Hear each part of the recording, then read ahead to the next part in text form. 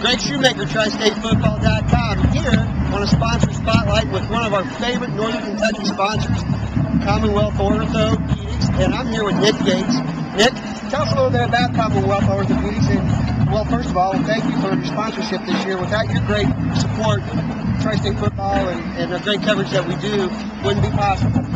Well, thanks, Greg. Uh, we're happy to be here. Uh, Commonwealth Orthopedic Centers uh, covers a lot of the sports medicine programs in Northern Kentucky. High schools. We really enjoy uh, high school sports. Um, we enjoy taking care of the kids. We've got a lot of quality kids in Northern Kentucky, particularly here on our Highlands team. Uh, myself, I work the team physician for Highlands High School uh, athletics, and a couple of my partners cover some of the other high schools. We also cover Thomas More football and uh, Northern Kentucky University as well as Thomas More college athletics. We really enjoy doing it. We like being part of the uh, sports scene.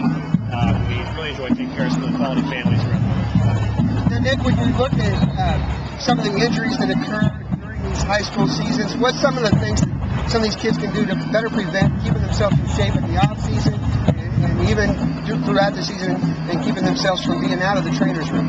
Well, I, tell you what, Greg, uh, the kids over the years and in the eight or ten years I've been involved have really um, each year gotten better and better, keeping themselves in good shape throughout the off season. I think we think that's a real big help.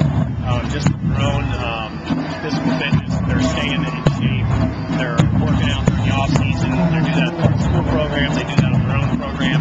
think that's one big part of it. Um, the other things are they pay more attention to take care of themselves during the season.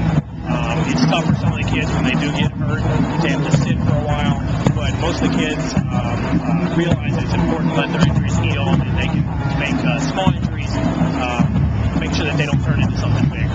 So the kids have gotten smarter, the coaches have gotten smarter over the years. So between those two things, um, we're able to try to keep the kids out of the training if they do go in the training room, try to get them back on the field it's safe for them to do so.